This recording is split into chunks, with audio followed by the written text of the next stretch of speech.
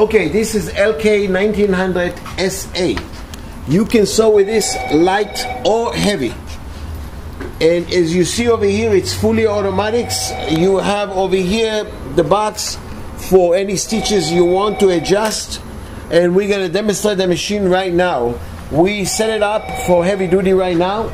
Uh, come here and go ahead. It comes complete. This machine also have air system and the back as you see over here which this one helping to lift the foot down or up. So you have to use an air compressor for this one. It's simple, you can get it at Home Depot, just a small one. Go ahead, uh, demonstrate the machine. Now, he's gonna push the program, as you see, number one.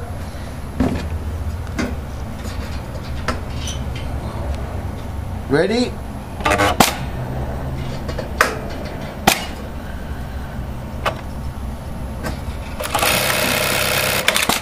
As, you see 42 stitch, you can adjust this machine to any stitch you want. You just press the palm, ready position, and he goes.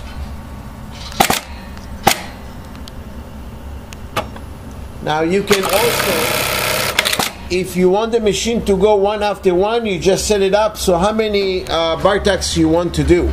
So right now we do one by one as you see. You push ready, go ahead, push the pedal, and it's done. Thank you very much from Atlas Levy Sewing Machine Company.